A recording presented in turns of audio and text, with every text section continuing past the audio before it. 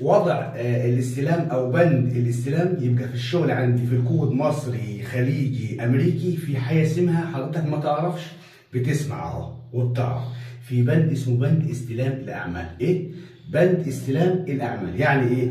حضرتك موضوع إن أنت تثق فيني واثق فيك فوق دراسي من فوق ولكن كل واحد ياخد حقه. العميل ياخد حقه والعميل يدي حق الفني في المصنوعية بتاعته عشان كل شغل له جودة؟ وكل جودة شغل ولها إيه؟ ركز في جاي لها سعر. يعني إيه؟ يعني أنا ما بشتغلش بسعر غالي ولا بشتغل بسعر رخيص. أنا بشتغل بسعر حنين. على حسب حضرتك أنت عاوز تعمل إيه يبقى هتدفع تدفع. هتاخد. تدفع كام؟ هتاخد كام كده. لما نيجي نستلم دلوقتي نعمل إيه؟ أنا عندي دي بيبه شاور كان عندي هنا حوض قدم عامل لي مشاكل خلاص شلناه. ودلوقتي هنعمل آه كابينة شاور. يبقى دي السطر المباني ده عاملينه عشان كابينه الشاور المفروض جواه فيه بيبه أعمل فيها إيه؟ بص كده سيادتك تستلم إزاي تستلم البيبة. أماكنها طبعا مظبوطة تمام؟ ما تكونش في ايديك والقصص كلها زائد ان أنت بتستلمها مضغوطة مية. بص كده حضرتك البيبة فل عند المية. البيبة دي رايحة فين؟ خلاص عرفنا البيبة دي هتخدم معانا كابينة الشاور الأرضية. بتمشي معايا كده أهو بتمشي البيبة دي المفروض هتصرف فين؟ هتصرف على البيبة الثانية اللي هنا. طب البيبة دي بتعمل إيه يا عم أحمد؟ ليه جوه بيبة داخل الحمام؟ أقول لحضرتك. البيبة دي عرفناها إن هي وظيفتها خلاص هتاخد منسوب المياه أثناء الشاور بتاع العميل جميل؟ جميل. طيب هتودي ميتها فين؟ هتصرف على البيبة الأم اللي هي المركزية اللي داخل الحمام. ليه؟ عشان خاطر ما تقوليش هدر بضاعه لا بص حضرتك الأرضية دي بره الحيز ده كده في مية هتوقع على الأرض من الاستحمام من ترويج الحمام إلى آخره من استخدام التواليت شطافة مية والكلام ده كله. هتروح فين؟ من ترويج الشقه هتروح فين؟ المية كلها هتيجي على البيبة الأم. يبقى كده واضح. البيبة الأم نيجي نعمل إيه دلوقتي نيجي نستلم بس مضغوطة مية البيبة دي يبقى البيبة دي من هنا. لغاية هنا مضغوطة. ليه ردت معانا مية؟ عشان البيبة دي هنا لغاية هنا مقفولة. ما فتحناهاش. طب ليه ما فتحناهاش؟ عشان نستفاد ونتأكد ألف الألف ونسلم أعلى ضمان وأعلى كفاءة وأعلى ديزاين للعميل. بمعنى ان الشغل أبو جوان ده الناس بتقلق منه بيقول لك ممكن يسرب ويجيب مية. وارد ان يكون عندك عفراية جت معاك. أنسي أو جوان مش مرتاح في التركيب استعجلت إنه ساعد معاك الساعد أيا كان. يبقى أنا لما أضغط مية يبقى المية بترد معايا عشان واقفة هنا. جميل؟ طيب. أستلم بس مية ولا أستلم كمان ميزان؟ لا أستلم ميزان أهو. تعالى كده وقرب لي على نقطة الميزان ووضحها أهو نقطة الميزان أهي. يبقى كده دي معناها إيه؟ معناها إن بتاخد منها على فين؟ على البيبة طبعا في المرة اللي فاتت في نفس المكان ده تعديل إحلال وتجديد كان العكس.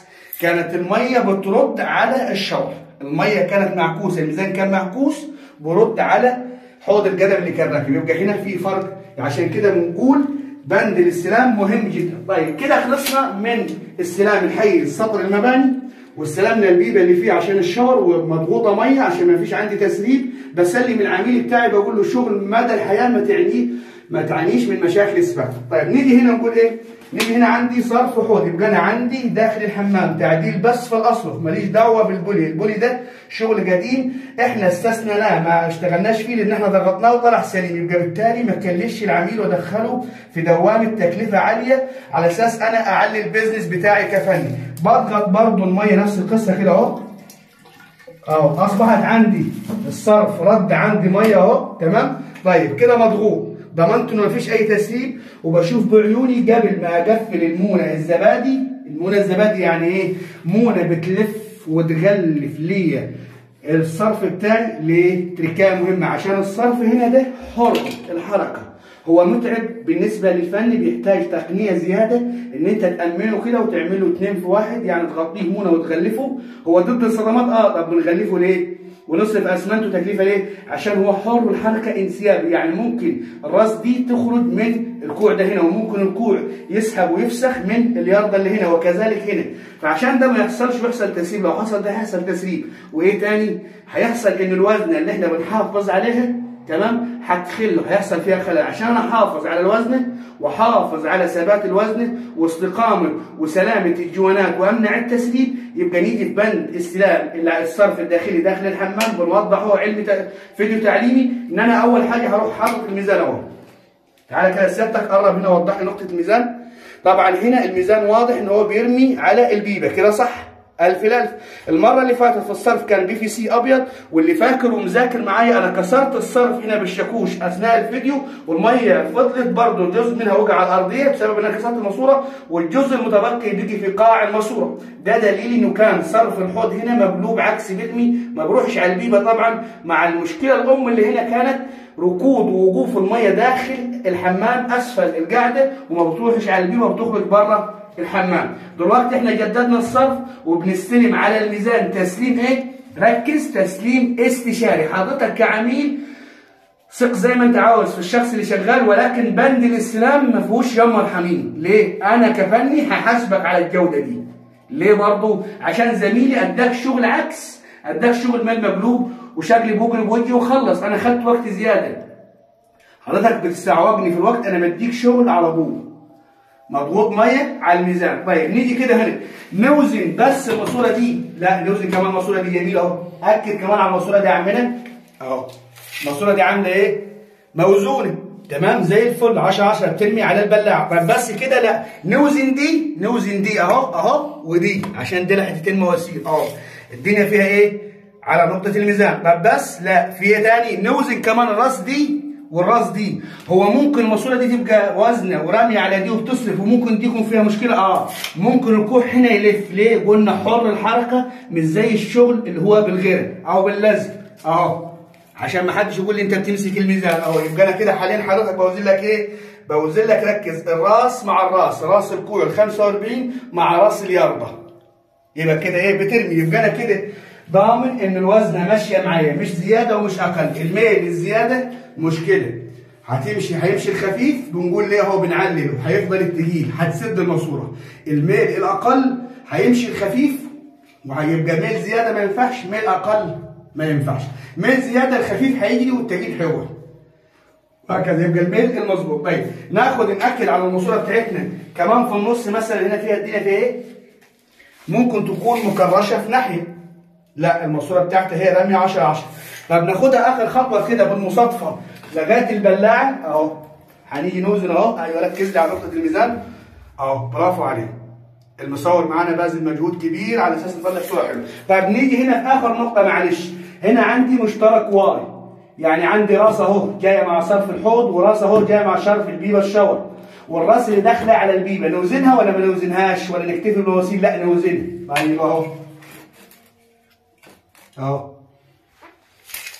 شفت الرأس حضرتك؟ آه الميزان بس اتحرك عشان المساحة إيه؟ المساحة أكبر أهو. أهو. أهو. كده يبقى الرأس بتاعت المشترك اللي جاي مع صرف الحوض رامية على الرأس اللي داخلة البيبة. حلو. نيجي ناخد كمان الراس العدلة أهو. الرأس دي اللي جاية مع صرف إيه؟ الشاور. أهو. آه طبعا الميزان طويل. أنا هحاول بس أسنده إيه؟ اسناده بس لا أكتر ولا أقل. أهو. دي كده صرف مين؟ صرف البيبة الشاور يبقى أنا كده استلمت الشغل بتاعي ألف الألف أعمل إيه في الحالة دي؟ في الحالة دي الشركة جت استلمت عشان الشغل ده المفروض يخش عند الضمان يبقى العلامات اللي على المواسير دي استلام الشركة طيب يبقى أنا ما أقدرش اغلف مونة إلا لما الشركة تيجي تستلم بالمنظر ده. يبقى دي علامات بتستلمها إيه؟ الشركة. جميل. طب إحنا نسينا نقول إن إحنا هنا كده عاملين كوعين 45 يعني آدي كوع أهو حضرتك وآدي الكوع الثاني آدي كوع 45 وآدي الكوع الثاني يعني أنا ما بستخدمش كعين 90 اللي كان حاصل هنا في الصرف القديم إيه؟ كوع 90 بيعمل لي مشكلة أثناء أثناء الصيانة إن وجدت. بالشكل ده زاوية 45 فوق. وزاوية 45 تحت أنا أضمن لك إنه صفر مشاكل صفر سدد بالنسبة لصرف الحوض وتصرف حوض وبوصة ونص جميل؟ طيب كده في نقطة ثانية في إيه في الاستلام كمان؟ أنا عندي هنا مرمى سيراميك يعني إيه؟ عندي وضع قائم يعني في حاجة اسمها إعادة وضع يعني هرجع أركب السيراميك بيبقى بيحترم السيراميك القديم. عشان كده لما أجي أمشي الميزان هنا وأثبت الماسوره بتاعتي ما تكونش خارج خارج الجدار عشان ما تعمليش تخانة تنطر لي السيراميك اللي هيتقفل هنا. يبقى حينئذ لازم أعمل حساب الفني بتاع السيراميك أحترمه في شغله عشان هو ما يرجعش يكسر ان هيخبط هنا. يخبط لي الماسورة هيأذيني هتبقى مشكلة كبيرة هيتأذي فيها في الآخر العميل طبعا الصرف ده هيتقفل زي الفل وكده هنقفل ظهر الماسورة مونه عشان ما يجيش بتاع الفني أثناء التشوين بالرمل يوديها لي شمال أو يمين أو يخلي لي الوزنه بتاعتي. يبقى إحنا فهمنا كده في بند الاستلام استلم واحد على الميزان. استلم مضغوط مية استلم متجف الخلطه على الوزن استلم الراس مع الراس واستلم الماسورة. جميل؟ طيب واستلم إيه تاني؟ استلم كمان أجي أقول هنا أنا عندي الليزر ده هستفاد منه إيه؟ ده كده منه واحد متر هيديني وش السيراميك أجي أشوف الراس اللي هنا أو الماسورة اللي هنا. المتر أهو مديني كده كامله واضحة في الميزان مديني متر و11 سم متر و11 سم تقريبا. عاوز أقول لك إيه كده؟ معناها إن الماسورة دي منخفضة عن مستوى السيراميك بكام؟ ب 11 سم يعني فن السيراميك هيشتغل وأنا هحط المونة بتاعتي ومفيش ادنى مشكلة معاه طب نيجي نستلم هنا أهو ونقول البيبة بتاعت الشاور. لو إحنا غطيناها كده أهو. أهو. إحنا استلمناها مية. نستلمها إيه كمان؟ نستلمها زي ما اتفقنا. موازين. أهو. موازين أهي. أهي. أهي. وأهي الناحية الثانية أهي. دي بيبه بيبة مين؟ بيبه بيبة الشاور. تمام؟ وأعمل حساب إن أنا هنا في جزئية يعرف يقفل منها. يعرف يحط غلاجه هنا كده يعرف يحط غلاجه مع الجدار اللي هيتقفل هنا لو دي تخانة كده تخانة السيراميك 2 سم ونص مثلا يبقى فيه تخانة إيه معايا ولو كده بقت 5 سم لو 5 سم برضه في تخانة يقدر يقفل معايا وفي نفس الوقت في ملحوظة هنا حابب أضيفها للعميل ولكل العمل يستفادوا منها. دي لو هتركب آه رخام أو هتركب سيراميك نعمل فيها إيه؟ نيجي حوالين البيبة هنا وخصوصا لو كان السيراميك. نيجي البلاطة هنا ما نحطهاش عدلة لا. نقسمها نقسم نقسم البلاطة شرايح عشان تديني ميول على البيبة بكام يا فندم؟ ركز بأربع زاوية يعني إيه؟ يعني الزاوية دي تديني كده ميل والزاوية دي تديني ميل والزاوية دي تديني ميل والزاوية دي تديني ميل بحيث ما فيش مية تقعد راكنه أو واقفه حوالين البيبه لأنه لو قطعة واحدة مش هيعرف يوزنها يبقى هي رخامة هي سيراميك. آدي عندي الجزئية اللي هنا دي لو رخامة كلها تيجي قطعة واحدة آه ماشي وميولها كده. والجزئية دي أقطعها وافرغها وأقطعها أربع حتت بحيث إن أنا أجيب إيه؟ أجيب كده أهو. كده كده كده يبقى أربع زوي ميل باربع اتجاهات على البيبه طب نستلم البيبه دي عاملة كام من الوزن يا عم أحمد؟ أهو. بص سيادتك عاملة معايا كام؟ واضحة كده في المتر في الميزان؟ عاملة واحد متر. عاملة واحد متر. مع رغم إن هي الوزنة بتاعتها مستقلة بذاتها. عندي المباني دي اللي أنا بانيها بص كده حضرتك سيادتك أهو. عاملة عندي كام؟ 93 ونص. دي المباني سطح المباني. طيب أنا المفروض الكلام ده بيحقق لي إيه على الأرض حضرتك؟ بيحقق لي إن المفروض المباني دي تبقى 90 أنا عندي 3 ونص انخفاض تحت. يعني السيراميك لو 5 سم هتبص تلاقي سيادتك لما نيجي برضو نفس الجزئيه هنا أهو. هنشوف رأس المباني هنا عاملة معانا كام؟ عاملة معانا برضه 3 سم أهو 93 سم 93 سم يعني إحنا كده محتاجينها تبقى 90 92 يعني لو 5 سم للسيراميك بحيث الهدف والشاهد من القضية لما أجي أنا بره كده بعد ما السيراميك يركب أجي أخش هنا سواء سن كبير أو ست حامل مثلا ما ترفعش رجلك كتير وأنت بتخش البيبة أو أنت بتخش الكابينة الشاور عفوا تمام؟ ده اللي أنا أقصده يعني ما ترفعش رجلك كتير. تمام؟ في نقطة هنا برضه في الأخير قبل نمشي أو نختم الفيديو بتاعنا البيبة اللي هنا عامله كام؟ البيبة اللي هنا عندي أهو عاملة متر و2 سم ونص. واضحة معاك؟ يبقى أنا بستلم كله على ميزان الليزر شغل هندسي تسليم استشاري. كل ده ليه يا فندم؟ عشان نتنفخ من الز... من الشوربة ينفخ في الزبادي زي ما بيقولوا. وعشان أنا ما أخليش حاجة للظروف. أنا عندي سيراميك هنا ثابت أهو. أهو.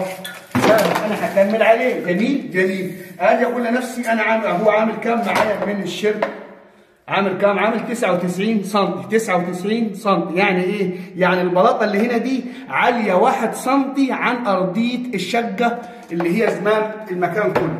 يبقى أنا كده وحدت الشد بتاعي نقلته بالليزر وحدت عندي الارتفاعات بتاعت البيبة استلمتها إن هي منخفضة عن المكان اللي هنا ب 3 سم تقريبا وواطيه عن باب الشقه ب 2 سم ونص. جميل. زائد إن أنا أمنت نفسي من موضوع التسريب بإن أنا عملت موضوع موضوع الرقبة هنا عشان أمنع موضوع الأسمنت الأبيض. يبقى مفيش مفيش تسريب.